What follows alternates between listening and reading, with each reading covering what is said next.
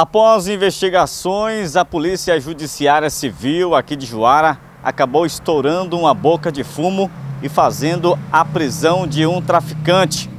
Esse caso aconteceu no dia 17 de julho e nós conversamos com o delegado de polícia responsável aqui por Juara, Dr. Jean Andrade, que falou a respeito desse trabalho da polícia e também sobre a prisão e apreensões de drogas e também de arma de fogo. A Polícia Civil de Juara já havia recebido várias denúncias ocorrendo que estava ocorrendo tráfico de drogas numa residência da cidade e realizando inúmeras diligências chegou-se ao suspeito, que é conhecido traficante de droga da região.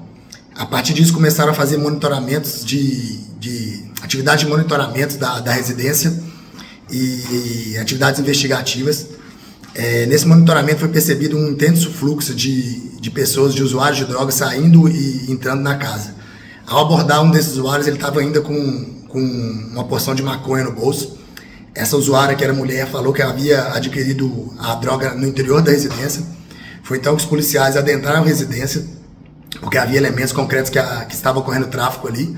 Ao adentrar a residência, foi encontrada uma quantidade de maconha, pasta base e cocaína, e foi preso o suspeito e conduzido até a delegacia e agora está à disposição da justiça para responder pelo crime de tráfico de drogas e porte de arma, pois foi encontrada também munição com o suspeito.